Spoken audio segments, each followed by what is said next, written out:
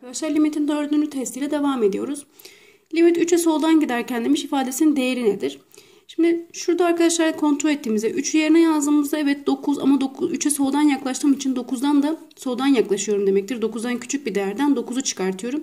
Ve bu mutlak değer içerisinde olduğu için arkadaşlar bu ifade de 9'dan küçük olduğu için bu ifadenin sonucu negatiftir.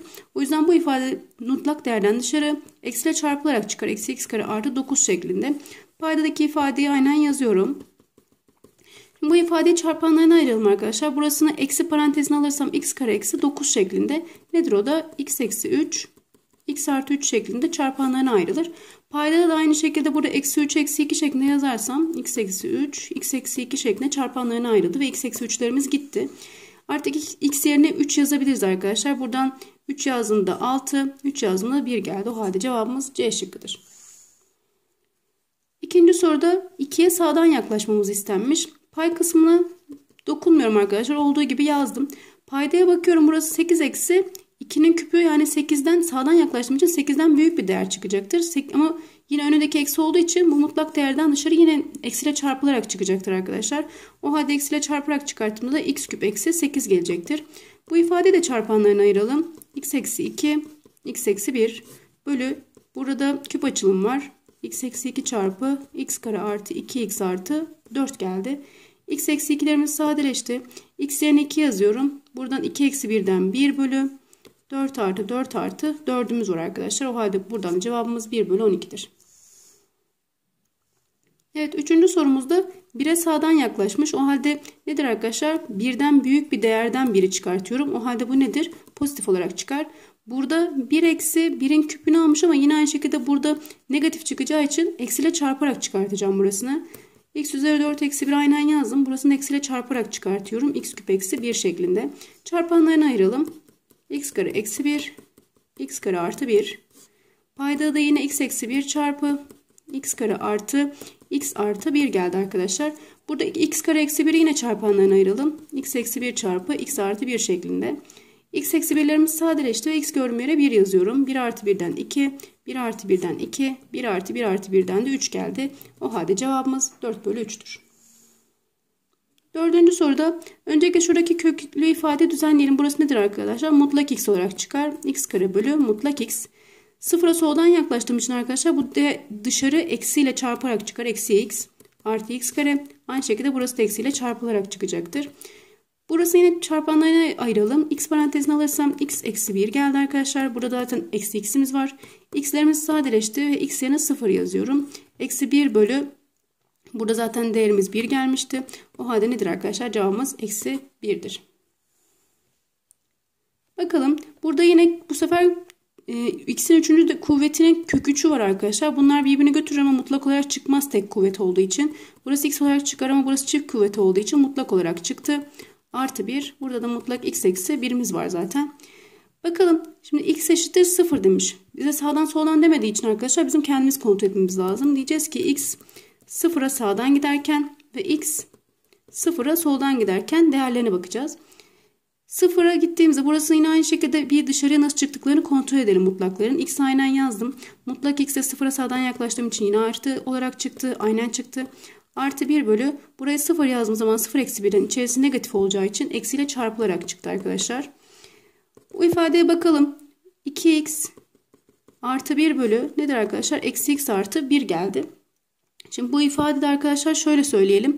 Biz bu e, ifadenin limitini aldığımız zaman arkadaşlar nedir? X yerine artık 0 yazdığımız zaman buradan 1 gelecektir. 0 yazdığımız zaman buradan da 1 gelecektir. Yani buradan limitimiz 1'dir. Soldan yaklaşırken burası eksiyle çarpılarak çıkar. Yani x eksi x artı 1 bölü. Burasına 0 yazdığımız zaman burası yine negatif çıkacak. Yani eksi x artı 1 şeklinde. x'lerimiz gitti. Buradan 1 bölü x yerine 0 yazdım birden. Cevabımız yine 1 geldi. O halde sağ sol limitlerimiz birbirine eşit olduğu için bu ifadenin de limitin sonucu 1'dir arkadaşlar. Altıncı soruda limit 6'ya sağdan giderken demiş.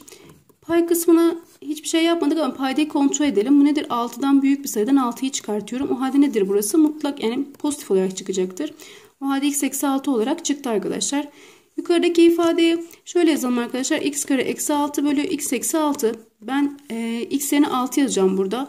6 yazdığım zaman 36 eksi 6'dan 30 geldi. 6 eksi 6'dan da 0 geldi. Bu nedir arkadaşlar? Sayı bölü 0. Ve sayı bölü 0'ın da cevabı nedir arkadaşlar? Sonsuzdur. Evet 7. soruda 1'e sağdan yaklaşıyorum. Yine şu mutlaklardan öncelikle kurtulalım. x küp eksi 1 bölü 1'den büyük bir değer yazdığım zaman burası negatif olarak yani eksiyle çarpılarak çıkacaktır. O da nedir arkadaşlar? x eksi 1 olur. Artı yine birden büyük olduğu için burası artı çıkacaktır içi. Demek ki içerisi aynen gelir arkadaşlar. x kare eksi 1 payda da x eksi 1 var. Artı 3x var. Bu ifadeyi düzenlersek x küp eksi 1'e küp açılımı yapalım. x eksi 1 çarpı x kare artı x artı 1 geldi. Payda da x eksi 1'imiz var. x eksi 1'lerimiz sadeleşti burada. x kare eksi 1'e de yine aynı şekilde açılım yapalım. x eksi 1 çarpı x artı 1 x eksi 1 var. x eksi 1'lerimiz sadeleşti. Artı 3x'imiz var. Geriye kalan ifadelerde arkadaşlar x gördüğümüz yere de 1 yazacağız. O halde buraya 1 artı 1 artı 1'den bir 3 geldi. 1 artı 1'den 2 geldi. Ve 3 çarpı 1'den de 3 geldi arkadaşlar. Buradan da cevabımız 8 gelecektir. Evet 8. soruda parçalı fonksiyon vermiş bize. Tek tek e, soldan sağdan ve ayrıca 5 değerinin e, limitini vermek istemiş arkadaşlar. 2'ye soldan yaklaşacağım. 2'ye soldan yaklaşacağım. Yani 2'den küçük değerler için fonksiyonu kullanacağım arkadaşlar. Burada x yerine 2 yazdığım zaman ne gelecektir? 12 eksi 8 artı 6'dan cevabımız 10 gelecektir. 2'ye sağdan yaklaştığımda o zaman bu fonksiyonu kullanacağım. x yerine 2 yazdım. 4 çarpı 2 eksi 10 geldi. Buradan da cevabımız eksi 2 gelecektir. Limit 5'e bakalım arkadaşlar. O halde bu da nedir? Yine limit x eşittir 5 içinde 2'den büyük olan fonksiyonu kullanacağım. O halde 4 çarpı 5 eksi 10'dan da cevabımız 10 gelecektir. Buradan da ifadeleri topladığımız zaman arkadaşlar 18 cevabını buluruz. Evet 9. sorumuzda limit x eşittir 2 için demiş. E, limitin sonucu eksi 1'dir demiş. Buna göre artı b'yi soruyor bize. Şimdi e, 2 için limiti olduğuna göre demek ki bunun sağdan soldan limitleri birbirine eşit demektir arkadaşlar. Limit 2'ye sağdan yaklaşırken baktığım zaman arkadaşlar ax artı b ve x eşittir 2 için olduğu için x gördüğüm yere 2 yazıyorum. 2a artı 3. Soldan yaklaştığım zaman 2 artı 3. Sağdan yaklaştığım zaman burada nedir yine? 2a artı b'dir arkadaşlar. Bunlar birbirine eşit ve hatta bunlar da eksi 1'e eşit demektir. Limitin sonucu eksi 1 olduğuna göre. Buradan b değerlerimiz 3 gelir. Eğer b değerimiz de 3 ise 2a artı 3 eksi 1'e eşitse arkadaşlar Buradan da A değerimiz eksi 4'ten A değerimiz eksi 2 gelecektir. Bize ikisinin toplamını istemiş. O halde toplamda 1'dir. Evet 10. soruda grafik vermiş bize fx fonksiyonu için. Buna göre bu limitleri bulun demiş. Eksi 2'ye soldan gideceğim. Şimdi x eşittir eksi 2 burada. Eksi 2'ye soldan gittiğimde zaman limitim nereye gidecektir arkadaşlar? 2'ye gidecektir. Artı sıfıra sağdan yaklaşmamı istiyor. X eşittir sıfıra sağdan yaklaştığımda cevabım sıfırdır. Artı 2'ye sağdan yaklaşmamızı istemiş. 2'ye sağdan geldiğinde cevabım eksi 2'dir. Artı 3'e soldan yaklaşmamı istiyor. 3'e soldan yaklaştığımda cevabım eksi 3'tür arkadaşlar. Bu ifadeleri toplarsam sonucumuz eksi 3 gelecektir. 11. soruda bize 1'e soldan ve sağdan yaklaştığındaki değerlerini vermiş A ve B olduğunu. O halde bulalım. X eşittir 1'e soldan yaklaştığımda. Şimdi x eşittir 1 için 2 değerini vermiş ama birden farklı için bu değerleri vermiş. Demek ki 1'in dışındaki sağdan da soldan da olsa bu fonksiyonu kullanacağım demektir. 1'e soldan yaklaştığımda arkadaşlar burası nedir? Birden küçük bir değerden biri çıkarttığımda negatif bir şey çıkacaktır. O halde burayı eksiyle çarparak çıkartıyorum. Yani eksi x artı 1 bölü x eksi 1 geldi. Bu ifadeyi de sadeleştirirsem eksi 1'dir. Demek ki 1'e soldan yaklaştığımda cevap eksi 1 ise a'da eksi 1 gelir. 1'e sağdan yaklaştığımda yine bu fonksiyonu kullanıyorum ama bu sefer nedir arkadaşlar? Bir, birden büyük bir sayıdan 1'i çıkarttığım için mutlağın içi pozitif gelecektir. Yani aynen çıkacaktır. x eksi 1 bölü x eksi 1'den de buradaki ifadenin limiti 1'dir. Yani b'de 1 demektir arkadaşlar. Bizim a eksi b istemiş. a dediğim ifade eksi 1. b dediğim de 1'di. Eksi 1 geldi. Buradan da cevabımız eksi 2'dir. Evet 12. sorumuzda Fonksiyon grafiği verilmiş. Hangileri doğrudur demiş. F fonksiyonunda x yerine eksi 1 yazdığımda evet cevabımız nerede tanım arkadaşlar? 3'te tanımı. Bu doğru. Eksi 1'e baktığımda limitin eksi 1 değerini arkadaşlar.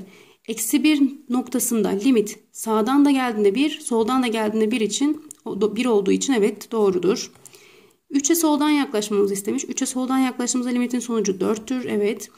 X eşittir 5 değeri için demiş arkadaşlar. x eşittir 5 değeri için bir grafik vermemiş. Bu kalsın şimdilik. E şıkkına bakalım arkadaşlar. Bu büyük ihtimalle D şıkkı büyük ihtimalle yanlış olacaktır zaten. Yine de biz E'ye bakalım. fx fonksiyonu için x eşittir 3'te tanımlıdır demiş. Evet x eşittir 3'e bakıyorum arkadaşlar. x eşittir 3 için bir değer vardır. O da değeri de 1'dir hatta. Tanımlıdır yani. O halde yanlış cevabımız D şıkkı. Evet arkadaşlar 13. soruda bize fx, fx ve hx fonksiyonlarının grafiklerini vermiş. Buna bağlı olarak bu limitlerin toplamını istiyor. İlkinde nedir arkadaşlar? hfx fonksiyonu verilmiş ve 1'e sağdan yaklaşmamızı istiyor fx fonksiyonunda fx fonksiyonu 1'e sağdan yaklaştığımda arkadaşlar eksi 1'e denk gelir. H eksi 1 ama eksi 1 arkadaşlar biz yaklaştığımızda burada geldiğimiz yer yaklaşırken eksi 1'den küçük değerlerden geliyorum. O halde eksi 1'e soldan yaklaşırken olmak zorundadır burası. O halde h fonksiyonunda da eksi 1'e soldan yaklaşacağım. Eksi 1'e de soldan yaklaşırsam arkadaşlar nedir? 3 cevabı gelecektir. Aynı ifade burada yapalım. f h x gelmiş. Burada da f e, hx fonksiyonunda ne yazmamızı istiyor arkadaşlar bizden? h eksi 1'e sağdan yaklaşmamızı istemiş öncelikle. H fonksiyonunda eksi 1'e sağdan yaklaştığımda arkadaşlar eksi 1'e sağdan yaklaştığımda nedir? 1'dir ama dikkat ederseniz ki birden küçük değerlerden gidiyorum. O halde nedir burası da? 1'e soldan yaklaşıyorum demektir. O halde bizde 1'e soldan yaklaşmamızı istiyor. F fonksiyonunda da 1'e soldan yaklaşırsak arkadaşlar o da biz nereye götürecektir? 1'e götürecektir. O halde bu ifadelerin toplamından 3 artı 1 Cevabımız 4 gelecektir arkadaşlar. Evet 14. soruda şekilde grafiği verilen fx fonksiyonunun absesi noktalardan limitleri olanların limit değerlerinin toplamını istemiş arkadaşlar. Eksi 3'e bakıyoruz. Eksi 3 noktasının arkadaşlar sağdan ve soldan limitleri eşit olmadığı için limit yok. Eksi 2'de sağdan ve soldan limiti 0. Artı 0 noktasındaki limitlere baktık. Sağdan ve soldan limiti 2 gelmiş. Bir noktasına bakıyorum. Birin sağından ve solundan geldiğimizde Aynı noktaya gelmedikleri için arkadaşlar bir noktasına limit yoktur. İki noktasına bakıyorum. Sağdan ve soldan limitleri bir noktasına kesiştiği için burada da limit vardır diyorum. Ve toplamları da 3'tür diyoruz.